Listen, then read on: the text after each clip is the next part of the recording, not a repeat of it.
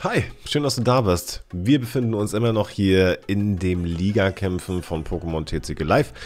Und ja, die letzten beiden Matches äh, waren nicht ganz so einfach. Äh, ich spiele immer noch mit dem Fusion Mew Deck, so wie ihr es äh, auch schon im Titel gesehen habt. Und hoffen wir mal, dass wir hier jetzt mal einen schönen Sieg uns holen können. So natürlich nicht. So natürlich nicht. Äh, das ist nicht die Hand, die man braucht. Und dabei habe ich eigentlich genug, genug Basis-Pokémon im Deck.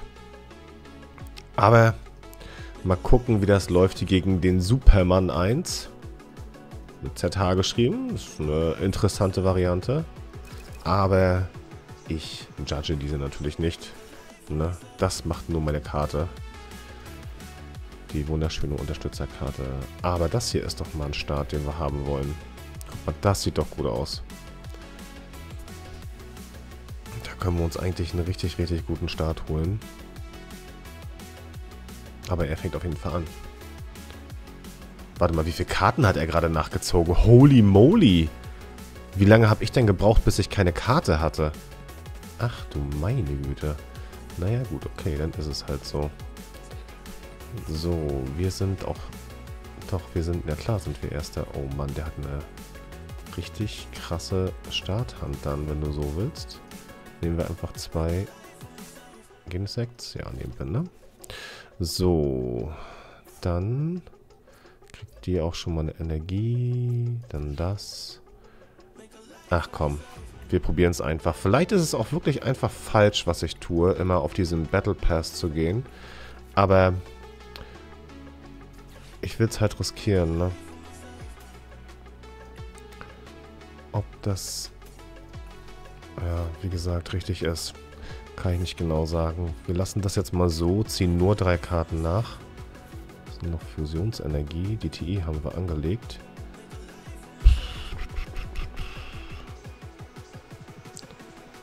Pass mal auf, wir nehmen ein Schneegipfelfahrt.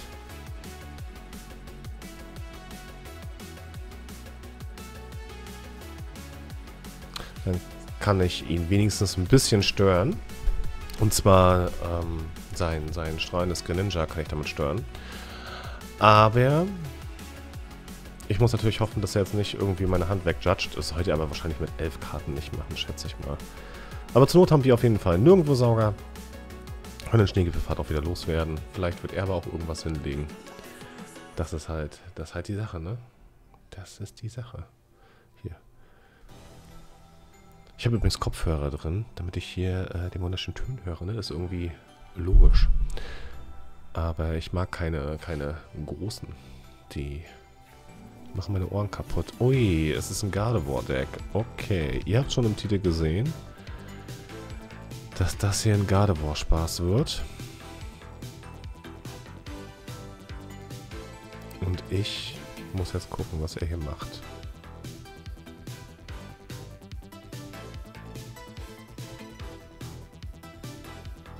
Wir brauchen nächste Runde ein Bio Max. Vielleicht auch ein Kamelas Glanz, das wäre auch ganz nice.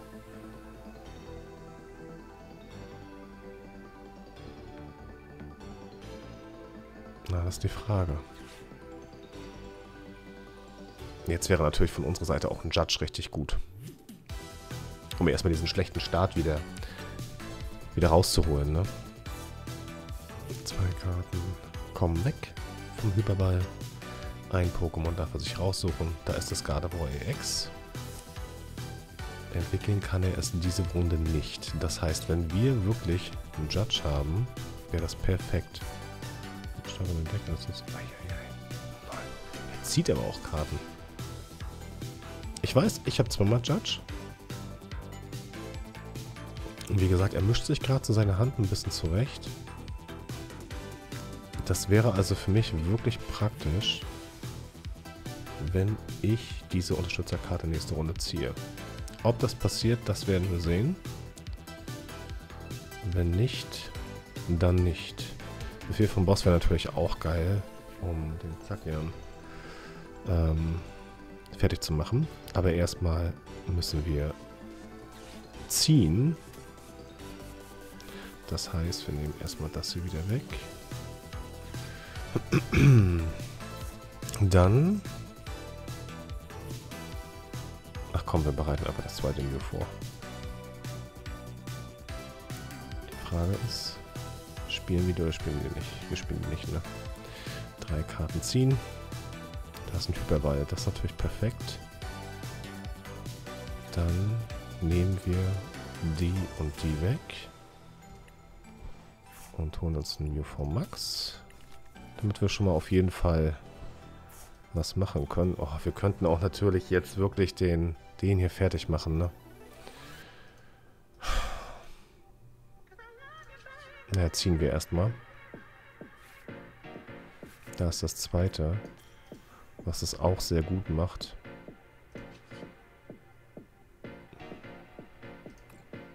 Vor allem haben wir auch schon einfach zwei weitere.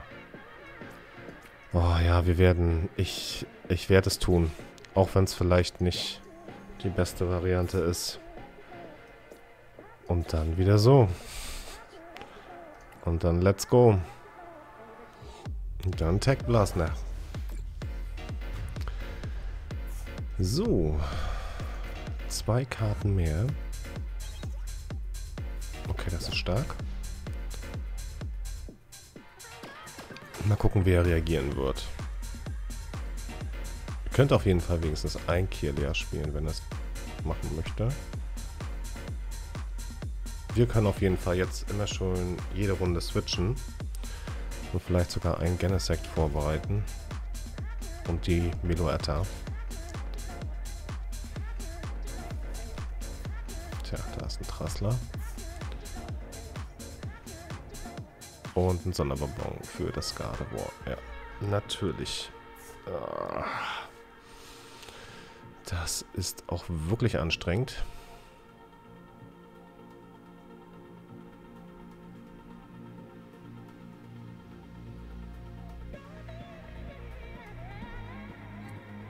Na, gucken wir mal, ne?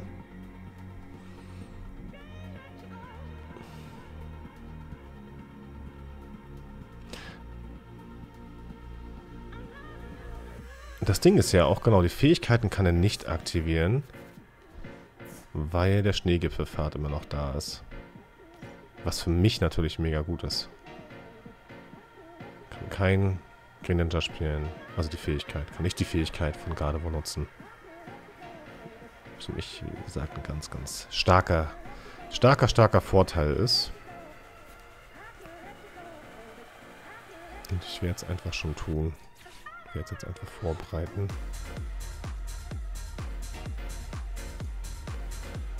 Zack.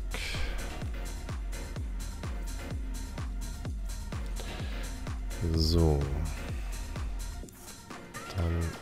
Switchen wir das aus. Ich werde nicht die, das wegmachen, um äh, eine Runde einen Turn zu holen. Ich nehme jetzt einfach den Safen.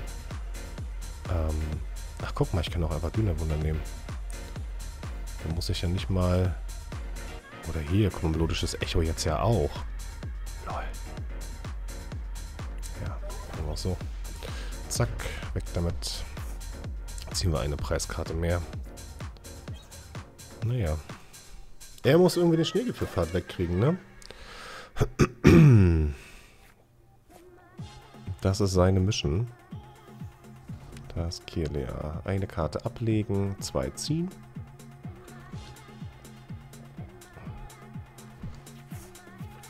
Und da passt natürlich ein VIP Battle Pass natürlich perfekt.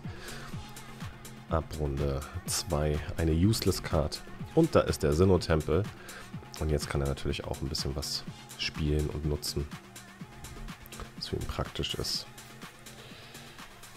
Das wird sehr interessant. Jetzt geht's ja, ihr seht schon, jetzt geht's los mit seinem Deck. Ich würde trotzdem behaupten, dass er ein bisschen in der Bedrängnis steht.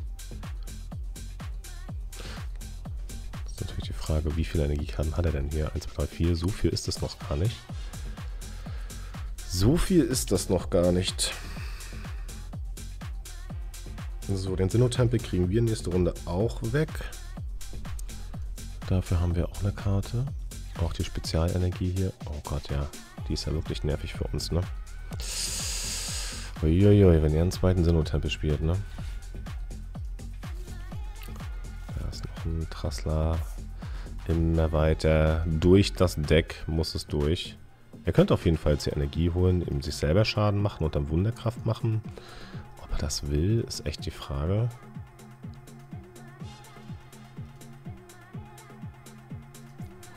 Okay. So, 290.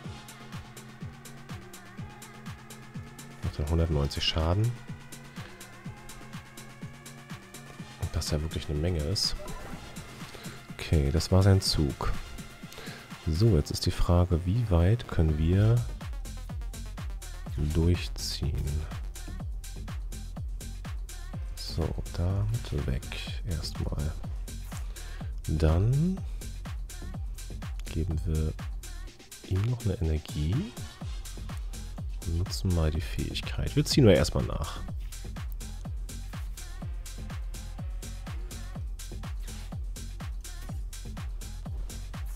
Wenn wir Kopf haben, können wir vielleicht eine Power-Tablette holen. Können wir nicht.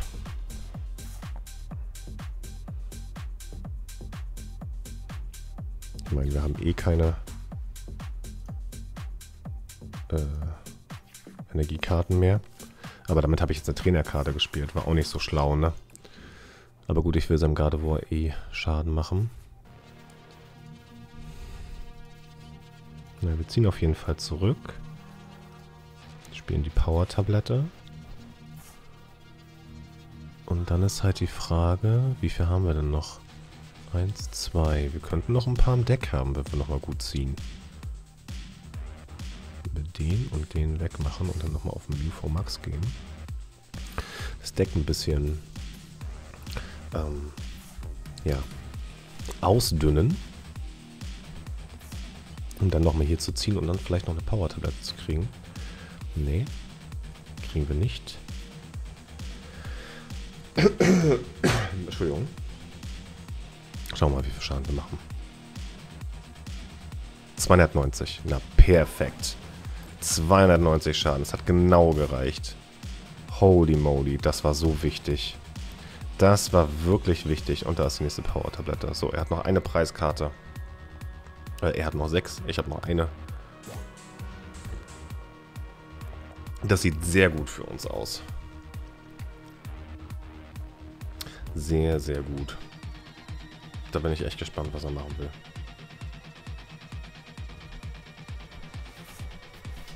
Das ist natürlich auch die Frage, ob wir noch einen Befehl... Wir haben noch einen Befehl vom Boss im Deck.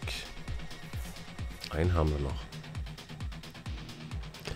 Das heißt, selbst wenn er jetzt irgendwie noch ein God X spielt, was ich jetzt nächste Runde nicht platt machen kann, könnte ich ja wenigstens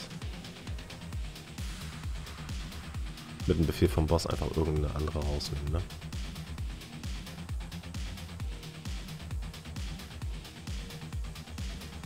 Aber was wird er tun? Stadionruine. Ja, dann gibt es ein Genesec weniger. Das ist in Ordnung. Er könnte vielleicht auch, noch Befehl vom Boss.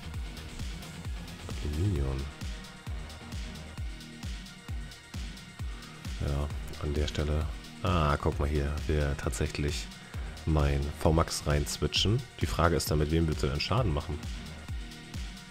Muss er noch ein Gardevoir EX spielen, damit er das machen kann?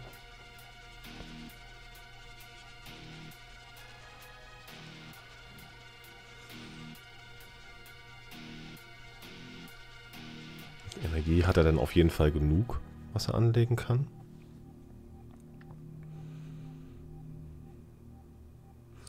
Wir machen jetzt auf jeden Fall 270 plus... Oh, wenn ich den reinlege, ne? Ey. 70, 140, 210. Okay. Worker gespielt erstmal. Ähm, damit könnte ich ein neues Mew rausholen. Ist halt die Frage, ob ich das will, aber eigentlich ist es okay. Könnte ich noch ein drittes mir von Max vorbereiten. Ähm so, jetzt liegt das Sirene ab. Trainerkarte hat auf jeden Fall gespielt. Das heißt, er kann mit dem Boss kann er nicht mehr reinholen. Ich glaube, er braucht noch einen Gardevoir, ne? Ich glaube, das ist das, was ihm fehlt, ne? Da ist noch ein Killer. Jetzt wird es wieder eine Karte. Ja, es kann natürlich auch sein, dass dein, dass dein Gardevoir in deinen Preiskarten ist, ne? vielleicht natürlich auch nicht.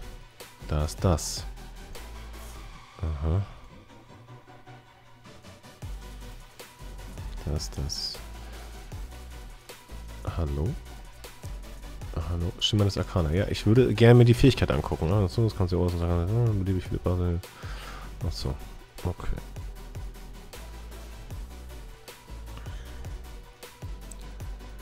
Tja.